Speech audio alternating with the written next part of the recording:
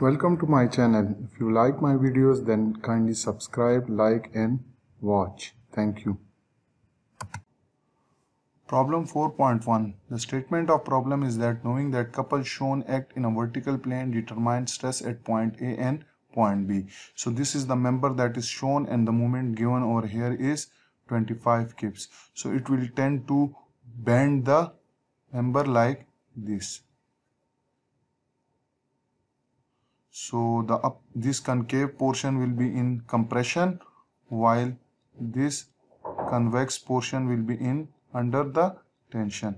So we have to find the stress at point a and point b. So given data is already written that is 25 kips into inch clear we have to find the stress at point a and point b. So sigma a and sigma b have to be found at these two points. Solution as we note that the uh, bending stress formula for uh, uh, bending stress formula for a given moment is uh, written as my divided by I, by I where I is the moment y is the distance from neutral axis to the point where we have to find the stress just like this point A and point B and I is the moment of inertia. So if you look this figure this is exactly like this shape. So from this to this total distance that is given as 2 plus 1.5 plus 2 which is equal to 5.5 so this distance is 5.5 inch. Let me write it clearly. So this total distance is 5.5 inch. Clear so let me show over here. This total distance is 5.5 inch. So if you draw a center line center line at the midsection of this 5.5 so you will get a neutral axis because the body is symmetrical around this axis. So this distance will be 5.5 divided by 2 which is 2.75 inch.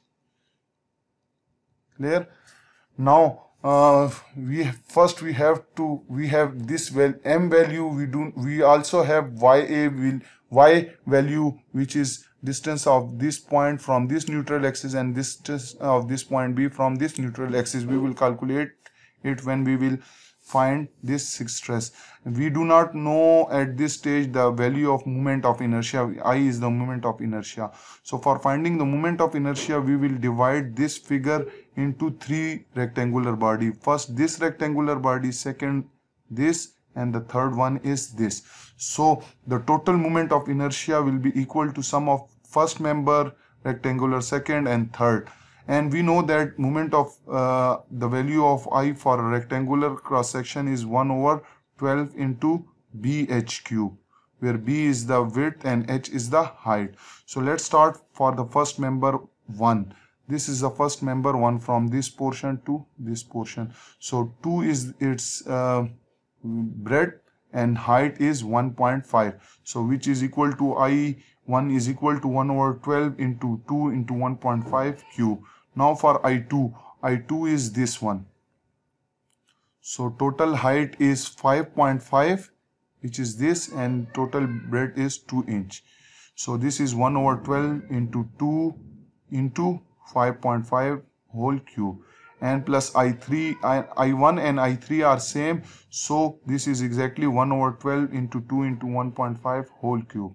So when you calculate it, you will get the moment of inertia of this whole member which is given over here which is 28.85 inch 4 we have find the value of i now we will move toward our first part which is which we have to find the stress at point a and which is given as formula sigma a is equal to minus m y a divided by i now let's talk about the distance of ya so as we have seen that uh, this was the point A. So this is the point A and this is the neutral axis. And neutral axis, the Y is at a distance of 2.75 meter from this neutral axis.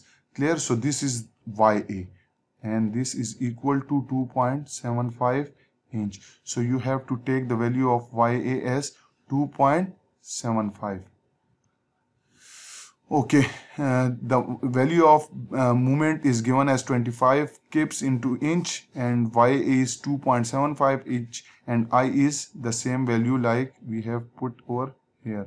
Clear? And when you cal calculate it you will get the stress at point a now moving toward second part which is stress at point b and this is exactly same as sigma b is equal to minus m into yb divided by i what is YB? YB is distance of point B from centroidal axis.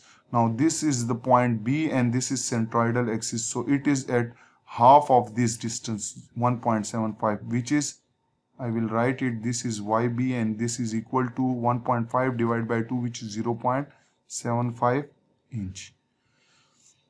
So you will have to put the value of m you have yb which is 0.75 inch and you have i the value of i which is 28.85 so when you calculate it you will find the stress at point b which is minus 0.60 ksi so now from both the values we can see that this is negative. So point a will be in compression. Also the stress at point B is negative. So it will be the point B will also in the compression under the given of given state of stress.